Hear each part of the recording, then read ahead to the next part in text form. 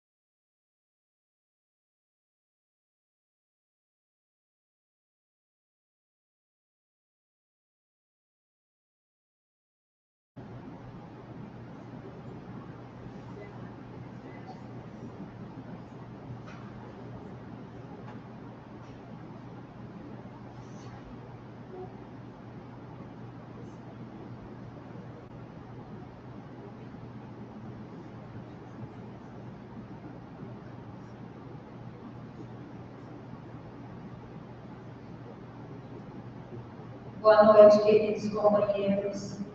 Nós estamos aqui reunidos para mais uma reunião doutrinária desta casa, onde nós pleiteamos o amor da fraternidade, muita luz, né, neste ambiente. E nós sabemos que essa reunião está em dois modelos, nós aqui presentes e também online. Aliás, nós estamos em três modelos, né? Nós presentes, os nossos desencarnados também estão aqui e online. Então, nós estamos transmitindo ao vivo a todos. Nós vamos fazer a nossa leitura preparatória e logo após a nossa prece inicial.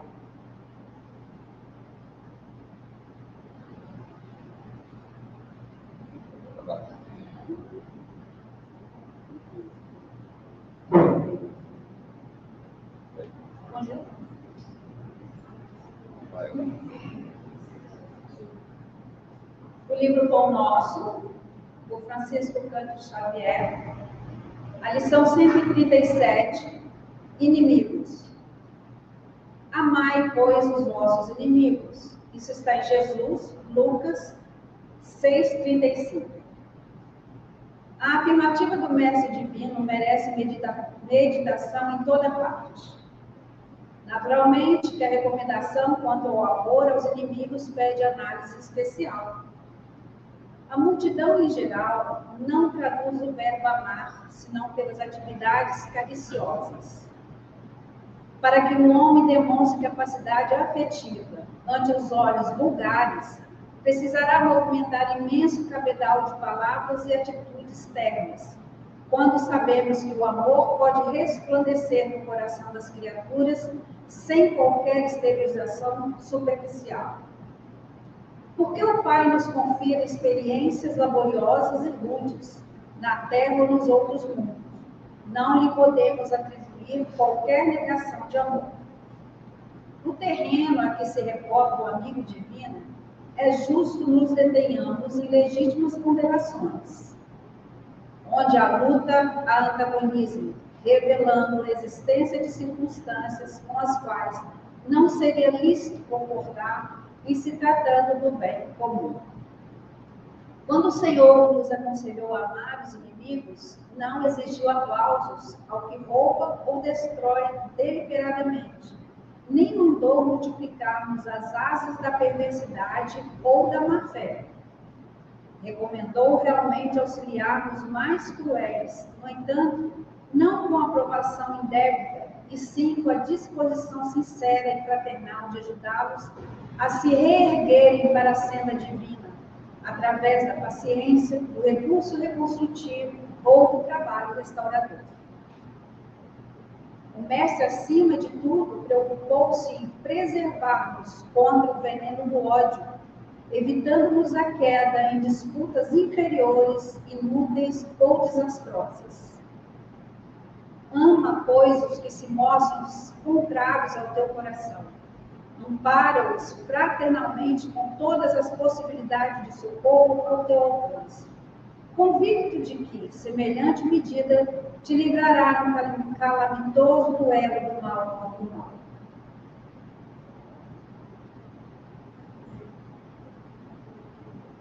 Assim, nós vamos elevar os nossos pensamentos ao Cristo vivo, que está no meio de nós, trazendo até nós toda essa energia positiva, fraterna, consoladora, para que a noite de hoje saibamos, Senhor, recebê-la, saibamos, Senhor, colocá-la em nossos corações, para que esta seja o momento certo da nossa grande mudança interior.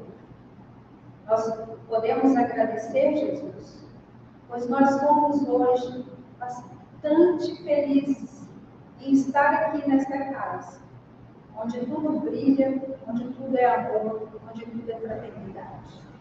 Muito obrigada, Jesus, por essa experiência de nos trazer aqui. Muito obrigada por tudo que nos ocorre. E obrigada, Jesus, com a paz que está em nossos corações. Muito obrigada, que assim seja. É, nós hoje temos o nosso companheiro, José Augusto, ele é um grande trabalhador aqui da Casa Gerônimo Ribeiro. Ele realmente é um trabalhador afinco mesmo. E às vezes a gente chega aqui no domingo, na semana, ele está aqui trabalhando, fazendo os pequenos reparos. Então, além disso, um estudioso e já faz nossas palestras com muito amor. Nós vamos passar a palavra para ele, então, José Augusto. Obrigado. Boa noite a todos. É bom ter amigos, né? 1,72m é grande, né? Queridos amigos, esse tema está no capítulo 12 do Evangelho segundo o Espiritismo. Amai os vossos inimigos.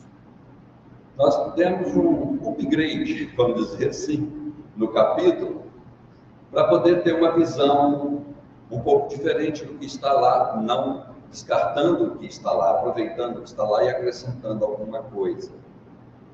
Então, nós ouvimos, nós lemos lá no capítulo, que Jesus, em Mateus, no capítulo 5, versículo 43 a 47, ele faz a alusão a este tema, como ele, quando ele diz assim: Ouvistes que foi dito aos antigos: Amareis o vosso próximo e odiareis os vossos inimigos. Nós paramos para meditar um pouco sobre isso. Depois eu completo o texto. O que foi dito aos antigos? Já pensaram nisso? Ouvistes que foi dito aos antigos? Mas o que, é que foi dito aos antigos? Aí nós fomos consultar alguns autores e eles nos colocam coisas da Torá, do Antigo Testamento, que foi dito, segundo o relato bíblico, por Yahvé, terríveis. Coisas terríveis. Então, os hebreus e judeus, hebreus antes da Judéia e judeus pós-Judéia.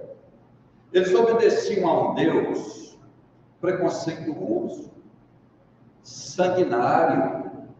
Vamos conferir lá na Bíblia, está isso lá. Os líderes de sua raça sempre estimulavam o orgulho da raça. Precisavam ter mão de ferro para manter a disciplina. E isso a gente entende. Aquele povo tinha sido escravo de dois povos, vieram do Egito, a maioria analfabetos, a maioria absorvendo aquilo que as, as outras raças dominantes passavam para eles, precisavam realmente de líderes com pulso de ferro para poder manter a disciplina. Mas ainda tinha um acréscimo da questão religiosa, que era preponderante. Então Moisés e os profetas tinham que falar em nome de Deus, senão não seriam obedecidos. Excelentes, extraordinários médiums transmitiam aquilo que o Espírito e a passava para eles.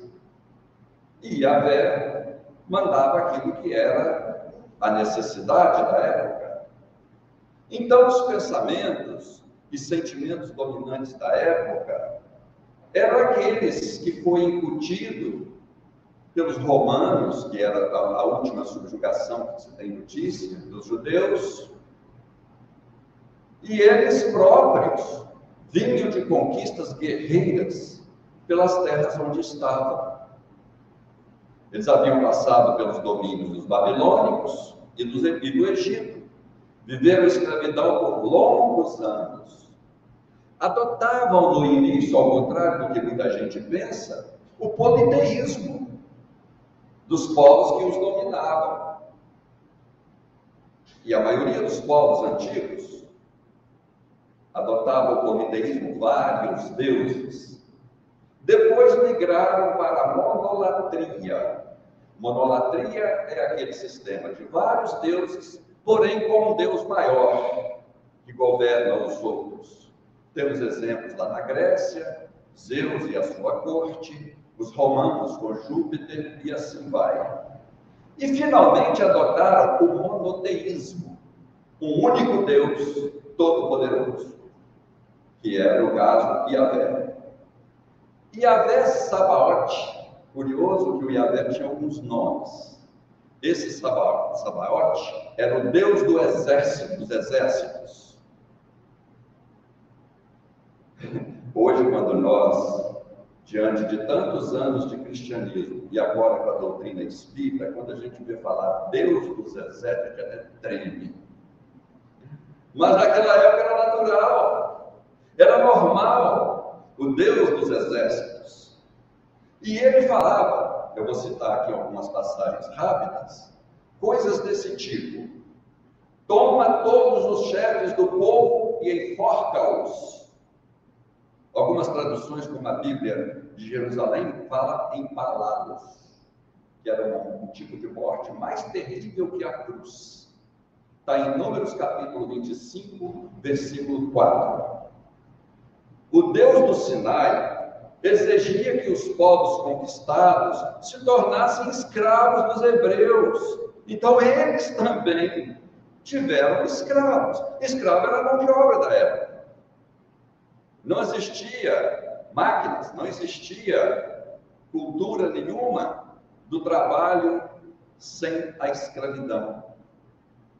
Se não aceitassem, seriam passados a fio de espadas, e as mulheres e crianças divididas como despojos de guerra. Está lá em Deuteronômio, no capítulo 20, versículo 13.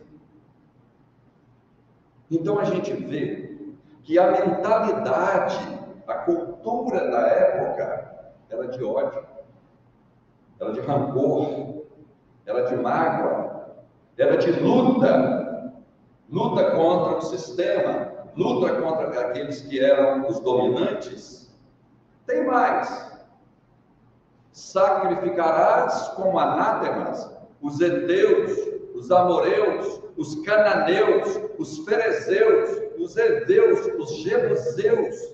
Está lá em Deuteronômio, capítulo 20, de 15 a 17.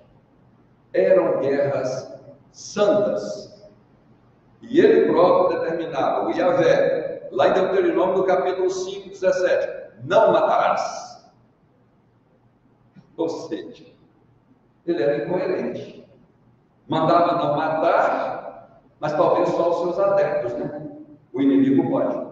Aquele que não pensa igual a ele ou que não adora, pode. Era um Deus que eles obedeciam. Eram guerras não de reconquista, mas de conquista, porque as terras não eram deles. Eles não tinham terras. Eles expulsaram os povos da terra para dominá-los. Por isso que a guerra está lá até hoje. Então a gente observa por essa introdução o clima que Jesus encontrou, a situação que ele encontrou, clima de ódio, de prepotência dos romanos, dos próprios judeus, que tinha a casta que comandava, depois da escravidão, aí vem aquele carpinteiro da Galileia, um lugar humilde, Nazareno, era uma, um sítiozinho pequeno, Nazaré, humilde e manso. Mas ele demonstrou a sua grandeza quando curou doenças incuráveis na época.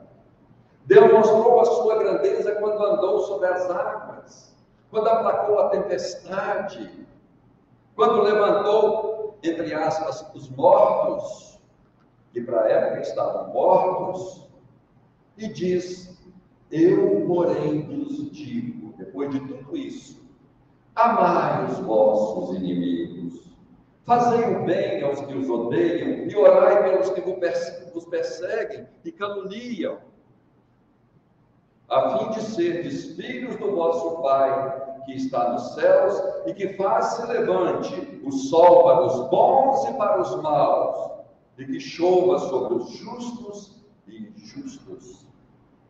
Porque se só amardes os que vos amam, qual será a vossa recompensa?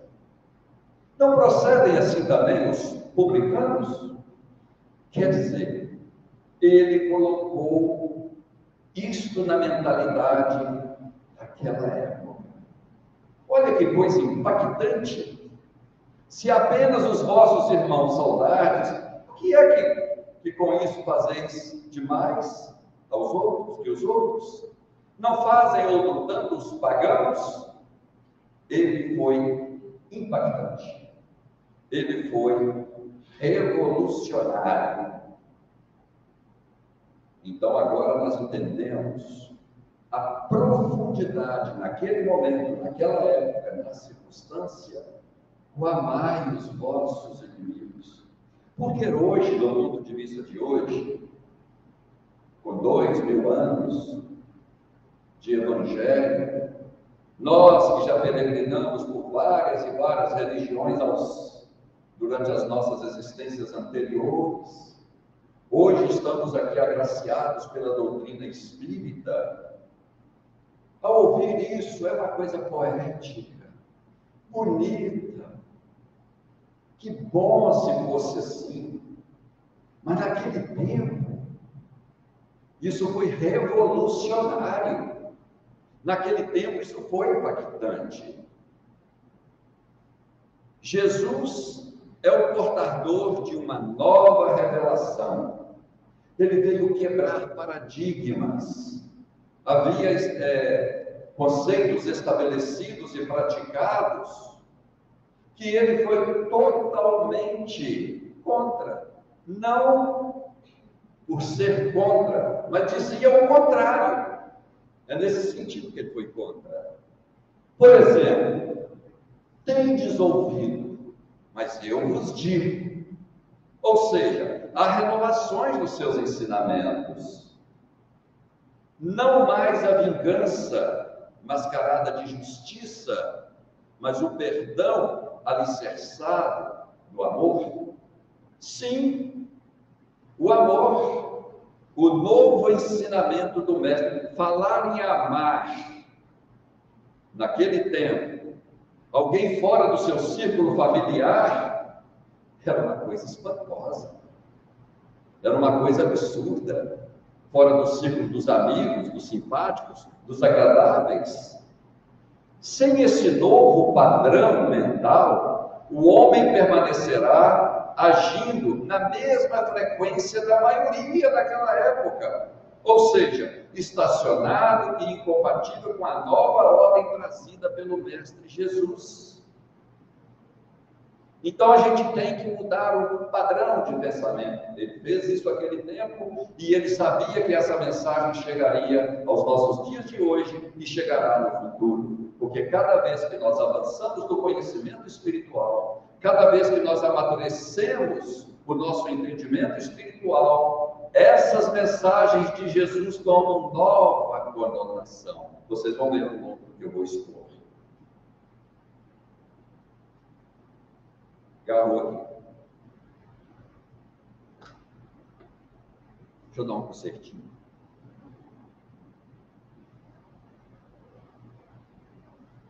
É que o computador é novo, ainda estou apanhando dele. Ainda não foi.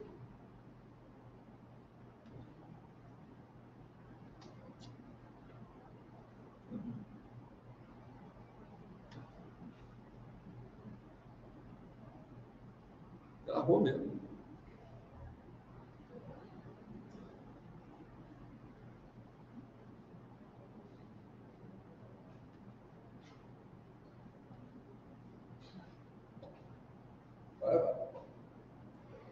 Amar os inimigos não é ter por eles a mesma afeição que se tem pelos amigos. Kardec fala isso no capítulo 12. Esse sentimento, por outro lado, resulta de uma lei física, já é um conhecimento atual que a doutrina nos traz, a da assimilação e repulsão dos fluidos. O pensamento malévolo emite uma corrente fluídica que causa penosa impressão. O pensamento benévolo envolve-nos num eflúvio agradável. Daí a diferença de sensações que se experimenta a aproximação de um inimigo e de um amigo. É questão fluídica, de vibração. Todos nós sentimos isso. Quando a pessoa nos é antipática ou somos antipáticos a ela, é desagradável. É uma presença que a gente quer ficar livre logo. Mas quando chega um amor, chega um amigo, um querido, a gente não quer que ele vá embora. É os fluidos, é as energias que estão interligadas. É não lhes ter ódio, nem rancor ou desejo de vingança a relação com os inimigos. É perdoá-los sem segunda intenção e incondicionalmente pelo mal que nos fizeram. Vai, Perseguir quase sempre é fomentar.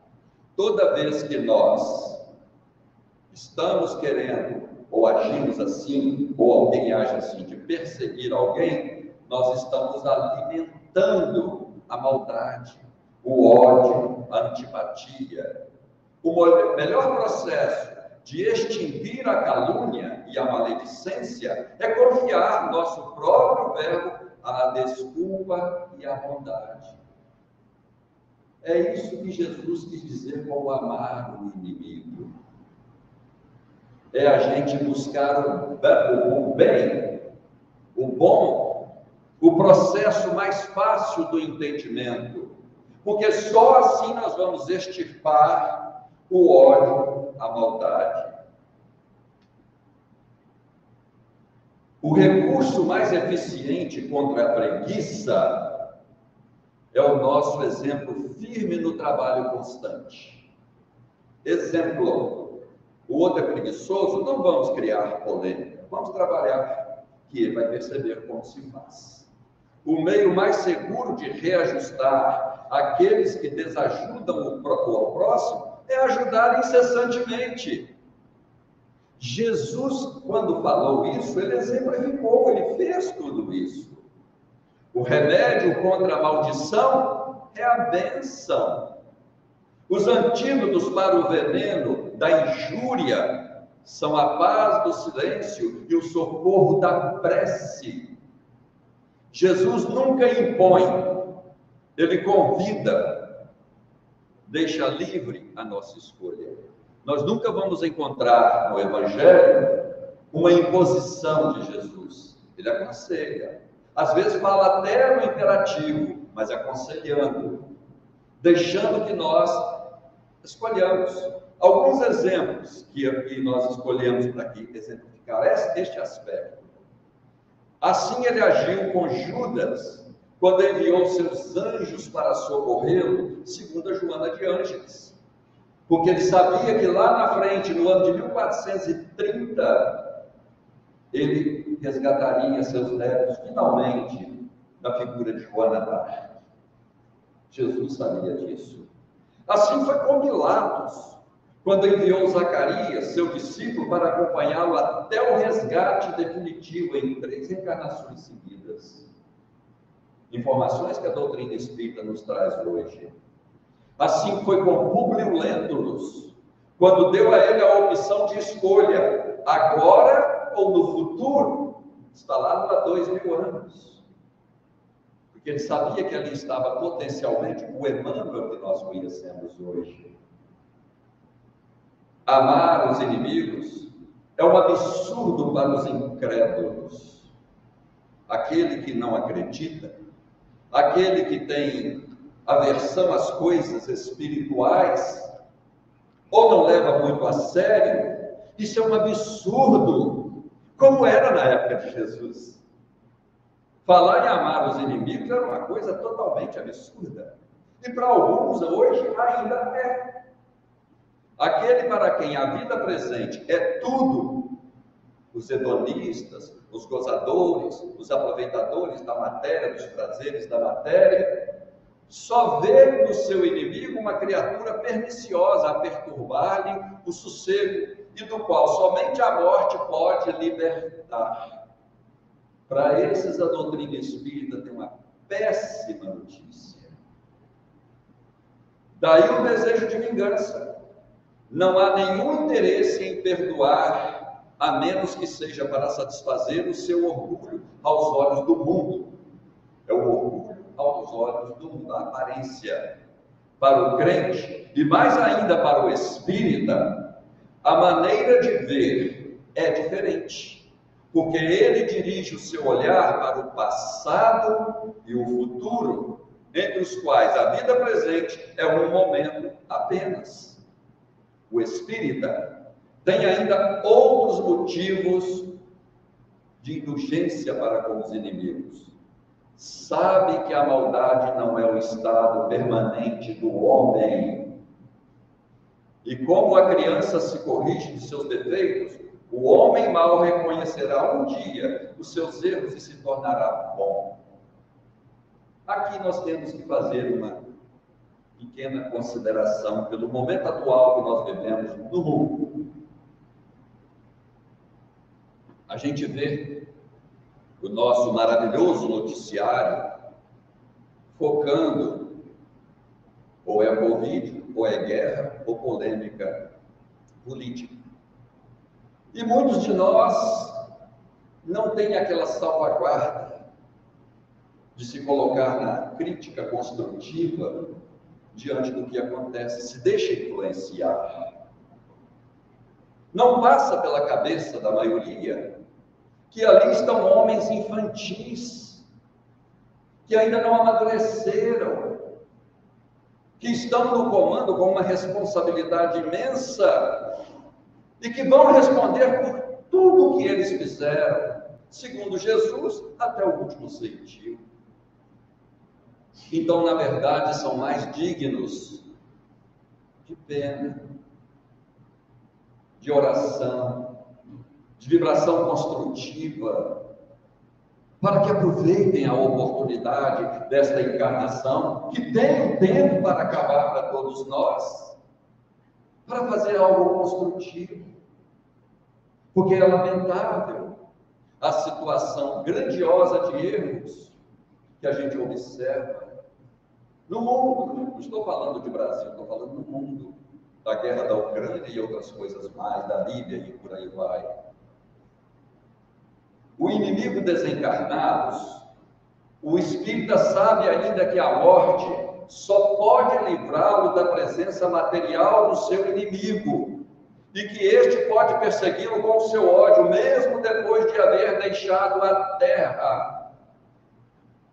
Nós temos notícias, Manuel Filomeno de Miranda, André Luiz e outros mais, desses grandes déspotas que quando desencarna fica numa situação lamentável. Muitos e muitos dos imperadores romanos andavam pelas ruas de Roma em outras encarnações mendigando, passando por doenças terríveis, ali nos mesmos lugares onde eles mesmos construíram, mandaram construir, como o Coliseu e aqueles enormes monumentos que eles faziam. Muitos reencarnaram ali na maior pobreza física, moral e espiritual, para resgatar os seus erros, os seus débitos. Outros são aprisionados nas furnas umbralinas, onde os seus inimigos os atacam. Nós, como espíritas, temos que olhar os homens líderes atuais que não agem direito desta forma, pobre coitado. A gente pensa muito em nós, né? Quando eu morrer, eu tenho que me livrar do umbral, tenho que ir para o nosso lar. Então eu vou fazer para poder. Não, nós temos que pensar de forma coletiva. Nós temos que pensar a nível de cidade, de estado, de país, de nação, de mundo. Porque as nossas vibrações, pequeninas como nós somos, influencia. O plano espiritual não despreza uma gota de luz quando ela é sinceramente emitida por nós. Uma prece, uma rogativa, um pensamento construtivo. Pode-se, pois, ter inimigos entre os encarnados e os desencarnados. Agora nós sabemos disso. O Espiritismo oferece uma utilidade prática ao perdão, bem como a máxima do Cristo: amai os vossos inimigos. O bom procedimento não dá nenhum pretexto a represálias. E com ele se pode fazer de um inimigo um amigo, antes e depois da morte. Ou seja, quando alguém se torna o nosso inimigo, ou quando alguém nos agride, ou quando alguém, por uma razão qualquer, se volta contra nós, busquemos na prece, busquemos a inspiração para reagir com dignidade, mas do bem. No bem, desejando o bem, mostrando a outra face. Com o mau procedimento, ele se irrita e o ódio cresce, ficando mais fácil a reconciliação. Porque, do modo que eu falei no início, o inimigo vai pensar duas vezes antes de continuar. Ao passo que, se eu excitá-lo, se eu der motivo, se eu alimentar, só vai crescer a contenda por isso mesmo, Jesus ensinou: amai os vossos inimigos, bendizei aos que vos maldizem, orai por aqueles que vos maltratam e caluniam, perdoai setenta vezes sete, ofertai amor aos que vos odeiam. Ele falou tanto nisso, e agora tem um sentido muito grande para nós. Tem um significado muito profundo. É processo de crescimento espiritual e uma maneira de nos eximirmos dos mundos provas e expiações de sofrimentos, de transformação. É assim que a máxima amai os nossos inimigos não fica circunscrita ao círculo estreito da terra e da vida presente, mas integra-se na grande lei de solidariedade da fraternidade universais. Porque a fraternidade, o amor, o bem é a tônica da evolução. Os mundos superiores são assim, onde guerras, ódios, perseguições, mágoas já viraram história. Nem se fala mais disso. É apenas cooperação, fraternidade, ajuda. Os irmãos já pensaram quanto de investimento a nossa humanidade faz em armas, em métodos de destruir. Quanta, quanto dinheiro é gasto nos meios de diversão deprimentes? Dava para acabar com a fome do mundo. Dava para que todos nós, no mundo, tivéssemos uma vida digna, o mínimo necessário se houvesse fraternidade no coração dos que têm o comando financeiro do mundo. Recurso tem, ele é mal dividido, mal empregado. Devemos combater o mal para limitar-lhe a sua ação. Não devemos concordar com as coisas erradas. Mas a única maneira de alcançar a perfeita vitória sobre ele será sempre a nossa perfeita consagração ao bem irrestrito. O bem sempre. Acusar, reclamar, queixar-se não são verbos conjugáveis no campo dos nossos princípios. São coisas que a gente já deveria estar eliminando do nosso currículo, do nosso dia a dia. Acusar alguém, mesmo que ele esteja errado, reclamar de alguém, e reclamamos muito. A gente se surpreende quando, opa, eu estou reclamando. Queixar-se. Quantas pessoas acham que conversar é falar das suas doenças, das suas, dos seus sofrimentos, dos males que sofreu? Vai transferir para o outro que não tem nada com isso a sua dor. Se estamos passando por uma deficiência, por um sofrimento, é porque ele é nosso, fomos nós que construímos ou nessa existência ou no passado, porque Deus é justo, Deus é bom. São recursos que Ele encontra para que a gente possa adquirir a saúde espiritual. É preciso que a gente se conscientize disso. Aí a gente evita de acusar, de reclamar, de queixar-se. É muito comum a gente virar para a pessoa e falar assim: está tudo bem? Ela responde: está tudo bem. Mas alguns você fala, está tudo bem? Não, está tá bem, não, está assim, está assado, e começa o rosário. é o hábito. Quer reclamar do outro, pena, dó. Quer que a pessoa seja solidária com a sua dor, com o seu sofrimento.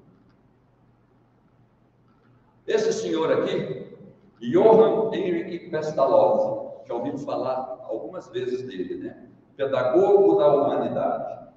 Foi o professor de Kardec em Verdun, na Suíça.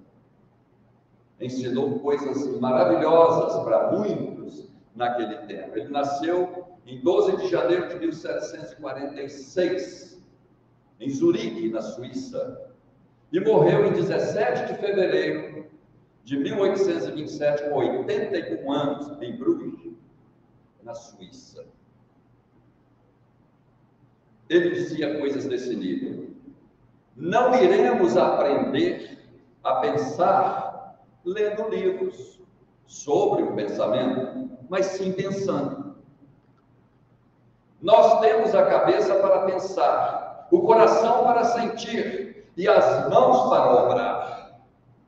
A tríade que ele sempre defendia: pensar, sentir e obrar. No amor, temos essa tríade: pensar, sentir e agir no bem. Não podemos parar apenas nas leituras e reflexões sobre esse tema. É necessário seguir mais adiante, isto é, vivenciar. Só podemos aprender a amar amando. Não é teorizando, não é conhecendo, não é lendo romances, não é vendo o trabalho dos outros que está sendo narrado nos livros, é fazendo. Como eu vou aprender a amar as crianças se eu não gosto de crianças, se eu não lido com crianças? É tão bonito, mas eu detesto. Então não vou aprender a amar. Eu amo meus filhos, mas eu cuido deles. Tem pais que não cuidam dos filhos, delegam para outros. Aliás, alguém fez uma excelente palestra aqui sobre esse tema. Então, Pestalozzi nos chama a atenção que pensar, sentir e fazer, agir, é a maneira de aprender. Fala mais. No geral, as pessoas são boas na teoria e deficientes ainda na prática. E só apanhamos experiência praticando. Aprendemos intelectualmente sobre o amor, mas paramos aí. Sem a prática, não seremos aprovados no grande teste da vida, que é amar. A vida prática educa. Mas a vida que educa não é uma questão de palavras, é sim de ação, de atividade. Portanto, essa passagem de Paulo é fantástica. Se o teu inimigo tiver fome, dá-lhe de comer. Se tiver sede, dá-lhe de beber. Porque fazendo isso, amontoarás brasas de fogo sobre a sua cabeça. Eu confesso a vocês que a primeira vez que eu li esse texto, eu fiquei sem entender, meio básico. Porque eu entendi sua cabeça a minha, que eu estava lendo. Como é que eu vou montar brasa na minha cabeça se eu fizer isso ao outro? Depois, com as explicações do Santo Emmanuel, eu já chamo ele de santo, de tanto que eu gosto dele. Isso é uma denominação minha, viu? Ele não é santo ainda não, mas eu já chamo ele de santo. Ele esclareceu de forma maravilhosa. Eis o motivo pelo qual dar-lhe todo o bem no momento oportuno é amontoar o fogo renovador sobre a sua cabeça, curando-lhe o ódio. Quando nós fazemos o bem ao outro, ao inimigo que tem fome, a comida. Se tiver sede, dá de beber. Ele vai ficar com a cabeça em fogo. Porque ele vai pensar: por que ele fez isso comigo se eu maltratei? Agora nós entendemos as atitudes de Jesus. E vamos falar delas daqui daqui. Jesus, quando se deixou maltratar e sofreu nas mãos de seus algozes de forma humilde, pacífica, estava demonstrando seu imenso amor por eles. Porque os detratores do Mestre jamais esqueceram o que fizeram e assim iniciaram seu caminho de elevação de forma mais resoluta. Imaginem a situação.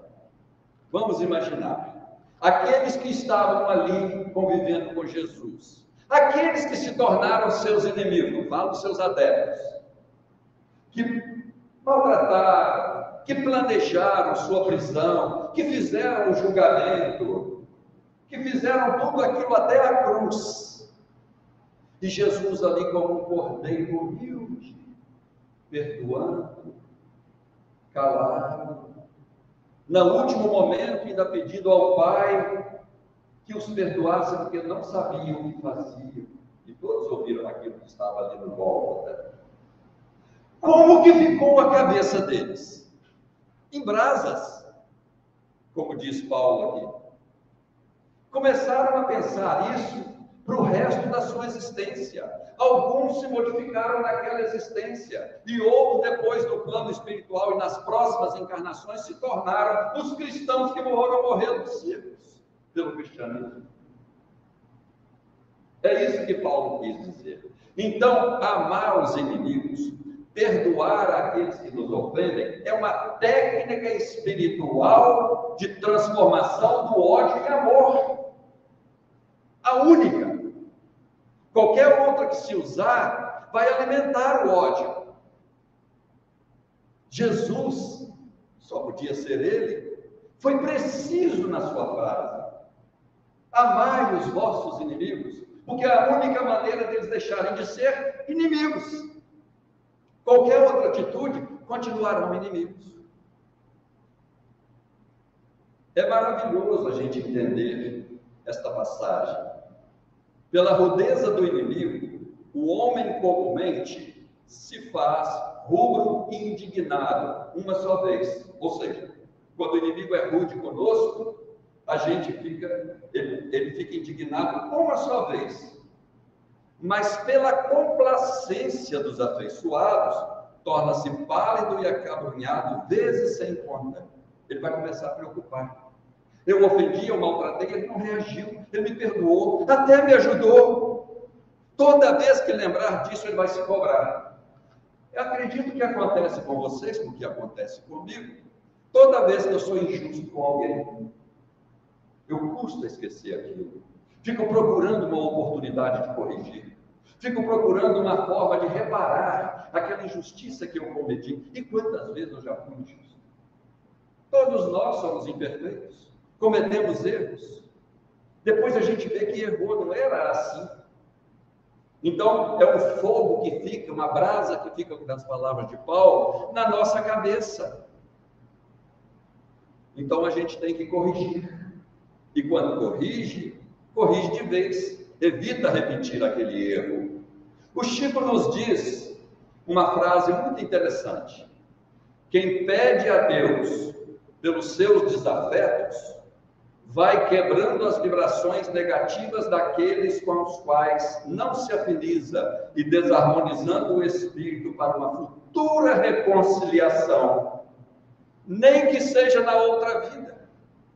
Essa frase do Chico está dizendo que orar pelos inimigos vai quebrando as vibrações negativas do desafeto, do ódio, da maledicência, da maldade e vai criando um clima para a reconciliação, para o bem.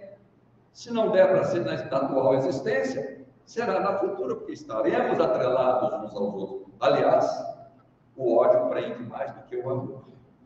Nós vamos ver isso um pouco mais à frente aqui. Ele fala também aqui, lá no Evangelho, sobre o duelo, e é preciso que a gente toque aqui no duelo. Nós transformamos o duelo letal de antigamente em formas mais amenas de disputas. A gente fala, mas não tem duelo. Clássico, como tinha naqueles tempos atrás, há cento e poucos, duzentos anos atrás, realmente não existe mais. De um desafiar o outro, escolher as armas e habilidosamente alguém matar um ao outro. E nem sempre era justo, porque sempre algum que desafiava ele era melhor na experiência com as armas, seja ela arma branca ou arma de então, era sempre algo que não tinha uma aparência de justiça, mas nós transformamos esse duelo para as mesas de negócio.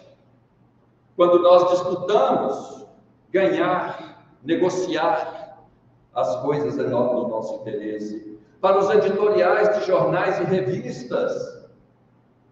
Quantos artigos a gente lê denegrindo? E hoje tem até um termo mais moderno, as fake news, mais atualizado, que é inventar uma mentira para depreciar o outro, e que a gente às vezes repassa até sem conferir se aquilo é legítimo.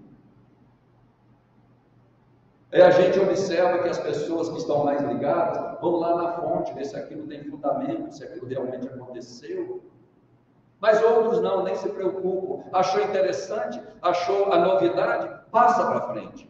E aí vai se multiplicando. Isso também é uma forma de duelar. Quantas vezes nós levamos o duelo para as relações profissionais? Competição por cargos dentro das empresas, às vezes até sendo injusto com os concorrentes, nas famílias, às vezes até entre o casal, tem sempre uma competição, qual é a última palavra, quem é que determina as coisas, quem é que comanda, quem é que decide, infantilidades que a gente comete. Nas competições religiosas, Quantas competições a gente vê em nome do Cristo? Que a minha igreja é assim, a minha igreja é assada, a minha maneira de pensar, de analisar a Bíblia é assim, é do outro. Competições, infantilidades. Ou para as formas de lazer, aqui então a competição corre solta. São duelos, com outros nomes. Vivemos no mundo material num clima de competições. Levamos o duelo para todo lugar onde a gente vai. Travou de novo. Ainda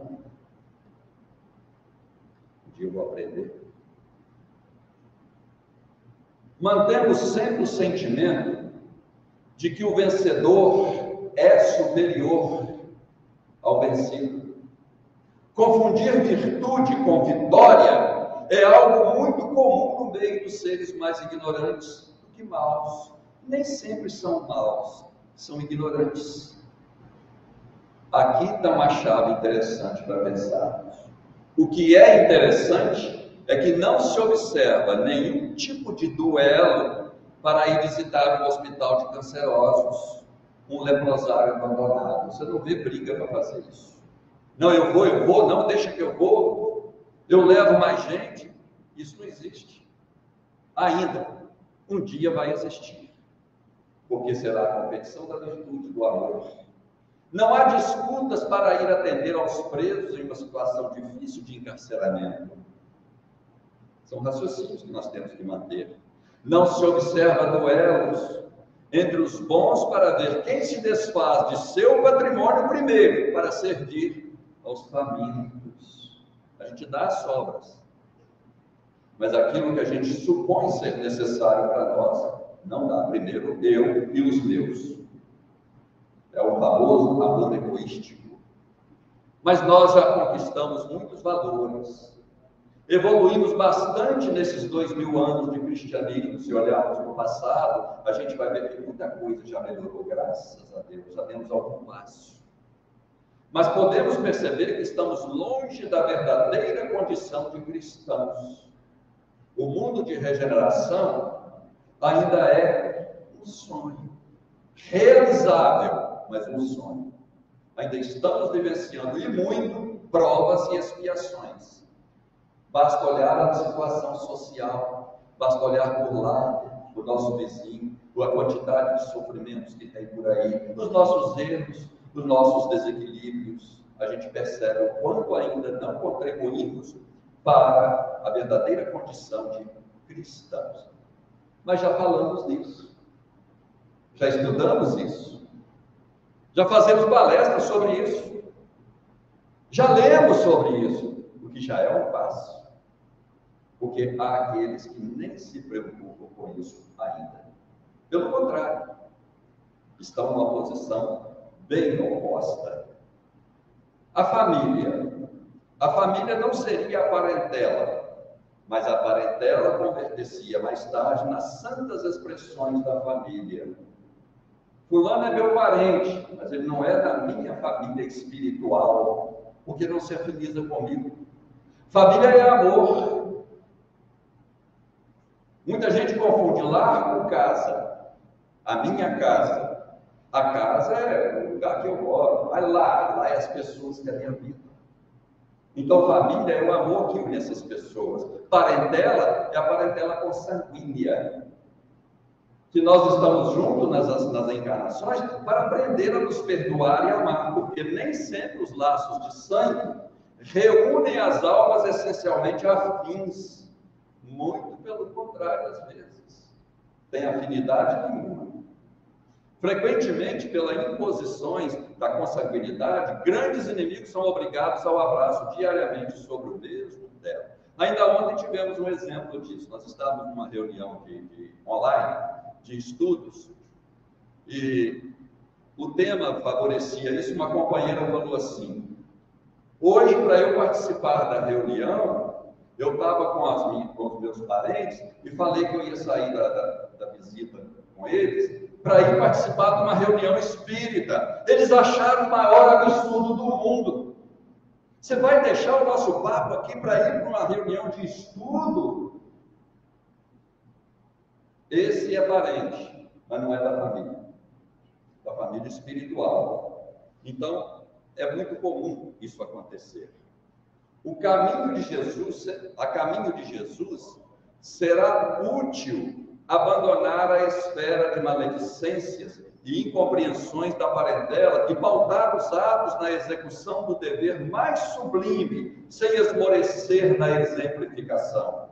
Porquanto, assim o aprendiz fiel estará exortando-a sem palavras a participar dos direitos da família maior, que é a família de Jesus Cristo, a família da humanidade. Essa é a família maior que nós temos que aprender a amar. Vamos acostumar a ver tudo com o olhar de, da compaixão e a praticar a caridade. Isso é um exercício, isso é um treinamento. Nós não fazemos caridade por amor ainda. Nós treinamos caridade porque sabemos que ela é o caminho da nossa melhoria espiritual. Assim nós vamos adquirir hábitos saudáveis até incorporar definitivamente em nossa alma o perfume do amor ao próximo. Assim nos tornaremos colaboradores de Deus.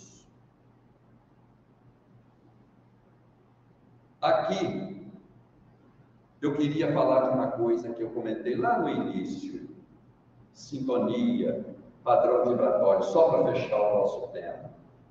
O que é padrão vibratório? Isso faz parte dos nossos relacionamentos.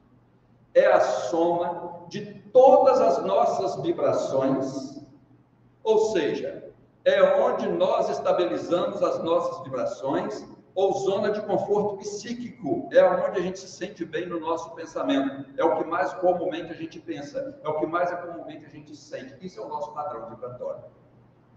Eventualmente, nós descemos esse padrão e subimos as nossas vibrações. Mas, onde nós estabilizamos o pensamento, a maior parte do tempo se chama padrão vibratório. Por exemplo, aqui neste momento, onde nós estamos falando de amar os inimigos, de amor ao próximo, nós subimos o nosso padrão vibratório. Mas a hora que a gente chega ali fora, começa aqueles pensamentos cotidianos, ou até pensamentos levianos, ou até brincadeiras que não deveriam ser feitas, nós baixamos o nosso padrão vibratório. Mas o de comum nosso é aquilo que a gente fica meditando na nossa intimidade, aquilo que a gente busca ler, ouvir, ver na televisão e nos livros, em qualquer lugar, aquilo que nos agrada, mas esse é o nosso padrão vibratório, aquele onde nós mais ficamos. Isso quer dizer o quê? Nós construímos as nossas defesas todos os dias. E não uma vez por semana, quando vamos a uma instituição religiosa. Todo dia, todo instante, nós construímos as nossas defesas espirituais, desde que a gente comece a se preocupar com isso e a nos vigiar. Isso se chama reforma íntima.